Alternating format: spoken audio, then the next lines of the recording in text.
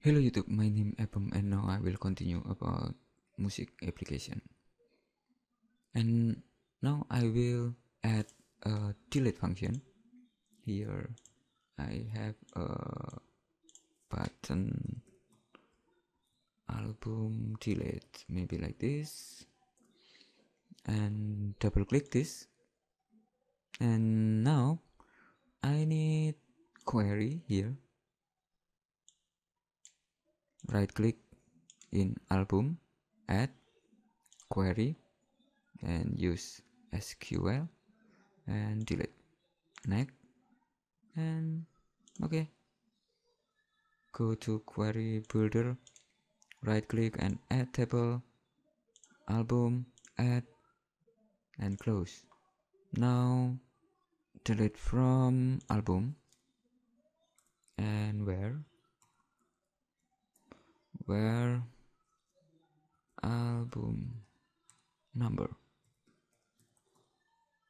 equal question mark. Just like this and press ok and next and delete delete album. Maybe like this. Next finish. Okay. And I need function okay go to build and build application and I need function here. And I add variable theme db as new. And a m a s dataset table adapter dot album table adapter. And here db dot delete delete album and I need I need one parameter. I need here. Copy. Paste. And value cell zero. Okay. I think it's right. And if I check this I copy this and uh, paste and okay. I need variable copy and here paste and here I need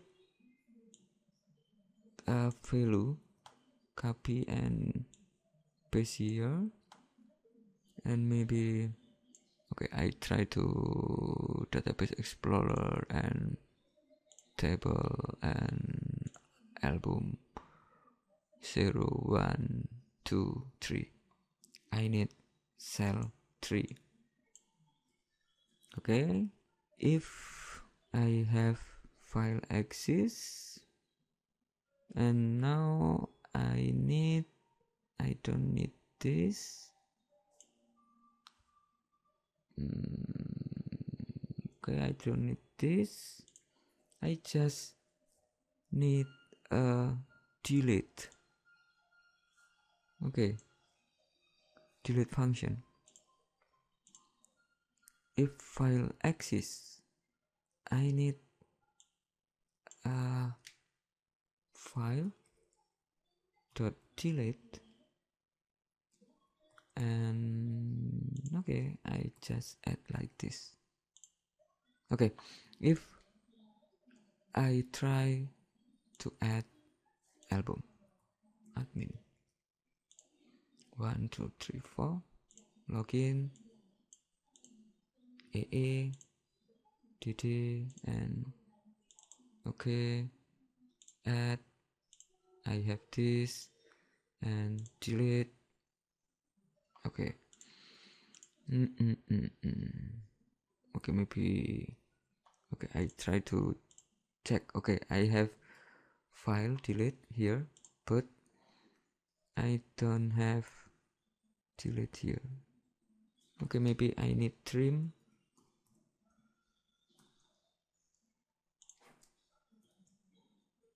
Okay maybe like this.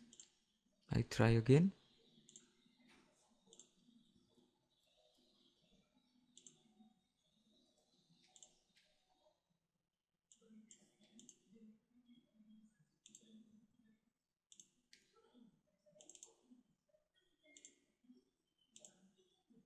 okay delete.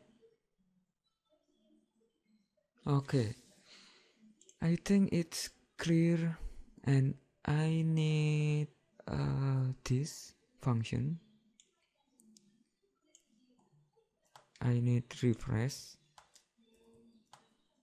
Okay and now if I try again I have delete function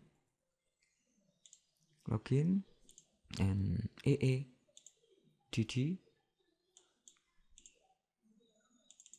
okay if I check in here I just have a image like this. And if I add okay I have two. And if I delete this I have one okay. Uh, I think this is function is correct and um, you must check